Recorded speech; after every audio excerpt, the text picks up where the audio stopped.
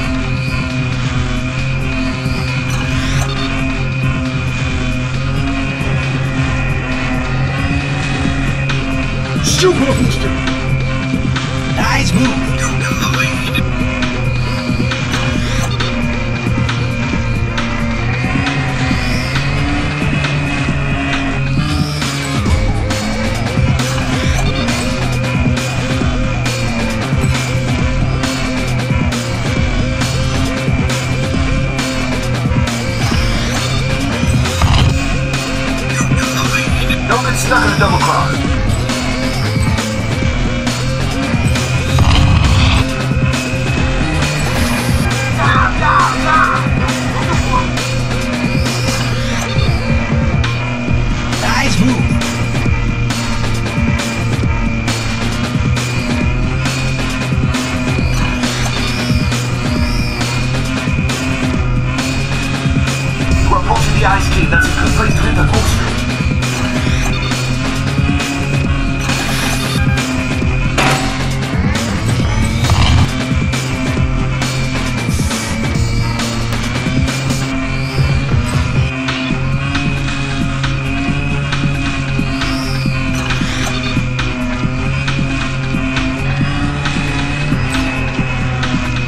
Super booster!